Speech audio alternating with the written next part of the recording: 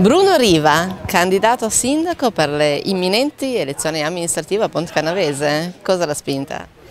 Allora, la voglia di fare qualche cosa per il, per il paese e soprattutto diciamo, la necessità di, di far sì che nel mio paese finalmente ci fosse qualche cosa di nuovo,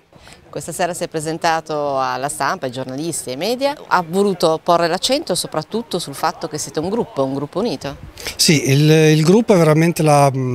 la parte fondamentale dell'avventura, dell se non ci fosse stato il gruppo composto da queste 13 persone che noi appunto abbiamo, abbiamo creato non, non, avrei accettato questa sfida, il gruppo è, è veramente il pilastro che ha sostenuto questa mia decisione, il gruppo. Se non fosse stato per loro non, non l'avrei fatto. Prima hai accennato qualche caratteristica dei componenti del gruppo.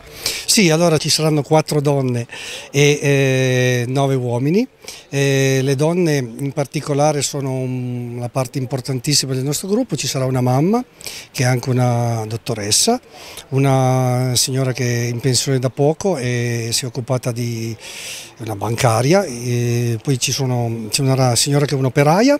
e una imprenditrice del, del paese che ha un'attività in paese. Per quanto riguarda invece gli uomini c'è un ragazzo molto giovane, abbastanza giovane che è uno studente, un architetto molto creativo che ci, ci ha dato un supporto fondamentale a tutta quella che è la programmazione e la gestione grafica delle, delle, nostre, delle nostre proposte, un eh, rappresentante sindacale di una grossa azienda che è canavesana, un dipendente dell'IREN che è anche un rappresentante sindacale, un eh, agricoltore che è un imprenditore agricolo del, del, paese ed è una persona eccezionale, un grandissimo lavoratore,